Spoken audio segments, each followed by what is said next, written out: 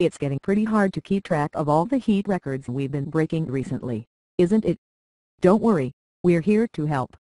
NOAA's latest data reveals we just wrapped up the hottest winter the U.S. has ever seen just like last summer which also broke its season record last year another record smasher the year before that, and a whole chain of recent individual hottest months, knocking each out one after the other like dominoes. Oh, dear, it's almost like there's a pattern in all this, isn't it?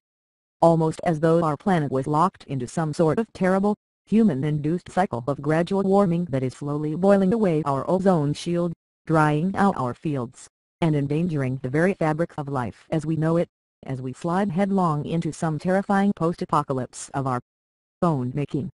Anyway, we'll be back to update you here next month or shortly thereafter when we've got another new broken heat record to look back on.